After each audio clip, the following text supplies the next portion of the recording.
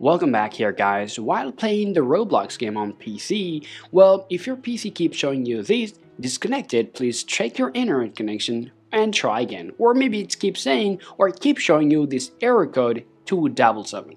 If you have this problem on your computer, don't worry, let me go ahead and show you some ways to solve your problem immediately.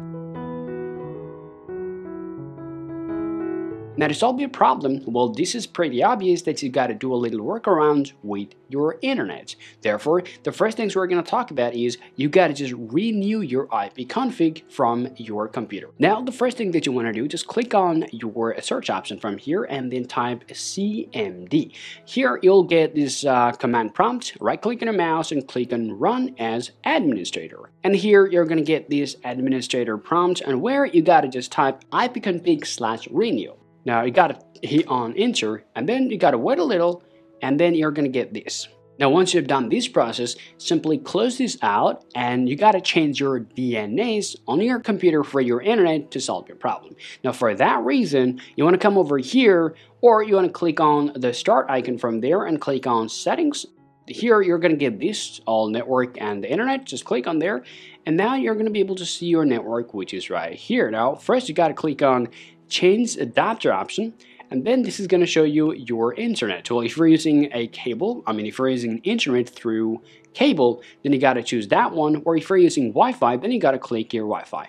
And here you'll be able to see your properties. So click on your properties. And now you got to just scroll down and find out this option called Internet Protocol version 4 TCP slash IPv4. Now just click on there and first, you gotta come over here and click on use the following DNS server addresses, okay? You gotta choose 1 dot, 1 dot, 1 dot, 1. Now, fill up the alternate DNS server, which is 1 dot 0 dot 0 dot 1. Well, now click on here, validate settings upon exit. So click on here and click on OK. Now click OK here. Now click close. Now close this program and you gotta wait a little. Okay, now close this option as well. Now close this up. And here, you got to restart your computer, okay? So click on restart. Now, once you just restart your computer, what's to happen? Your problem is to be solved. And after that, you'll be able to play your Roblox game just like normal.